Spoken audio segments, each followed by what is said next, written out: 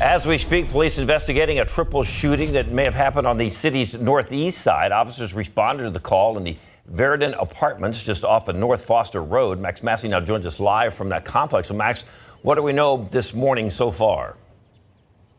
As of now, we know that this all unfolded just before 2:45 this morning. We know that three men were shot, but police here telling me that they weren't shot here. This is actually where it ended. This is where 911 responded to. Take a look behind me. It's calm and quiet here now. Still the caution tape up, but behind it, we still see those evidence markers and what appears to be another vehicle involved in the shooting. Just moments ago, another vehicle was actually towed away and it had several bullet holes on the side of it.